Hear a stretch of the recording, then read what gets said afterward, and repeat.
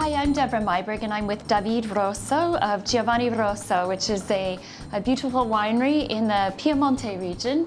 Uh, you're actually from Serralunga. Absolutely. And uh, Serralunga is the, uh, the, the era, the village where the soil is most calcareous than the other villages of Barolo, you know.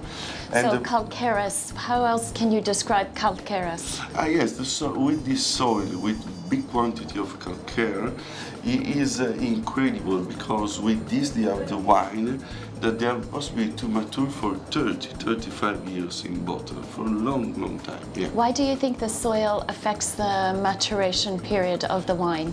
Ah, yeah, uh, because the, the, qua the quality of mineral that they have in the soil uh, go at the wine uh, one uh, particular energy and one particular structure to resist in the time you have one long maturing. Yeah. And you're always working with Nebbiolo grape variety. Do you get tired of Nebbiolo?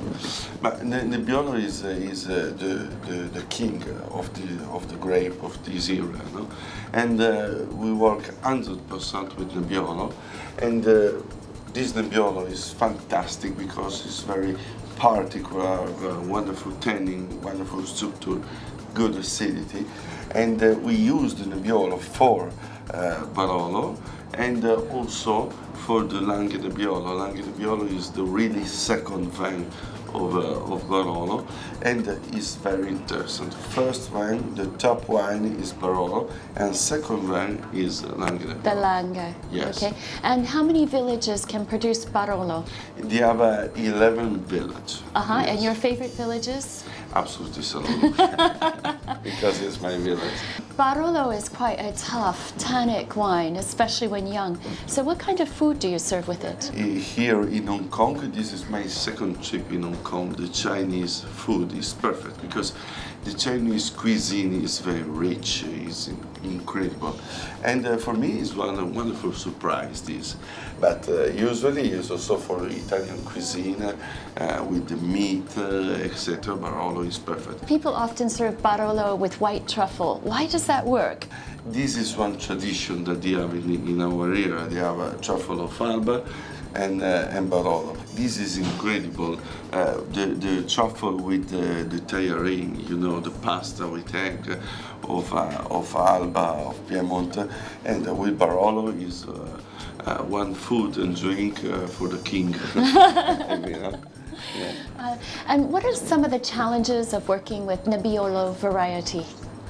Uh, the challenge uh, work is not easy work with Nebbiolo, absolutely, because it's one uh, vine very complex to work. It's necessary big attention in the vineyard, absolutely, and uh, uh, many many work, big big quantity of work with the hand, very artisanal process uh, in the vineyard, and in plus for in. Uh, my uh, winery, Giovanni Rosso, we don't use, for example, the chemical reserve. We respect uh, at 100% the soil and the wine. And this is very important, for my opinion. So, you have a passion for the cars. So, Yeah. cars, cars, or wine? Cars and wine, yes. Um, I think uh, this is one uh, really artisanal wine. Uh, make with big attention, etc.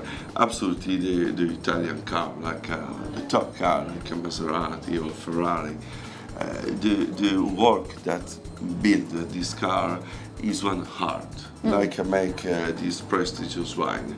Well, to the Maserati and Ferrari of wines, then. And Thank Barolo. you, David. Thank you very much.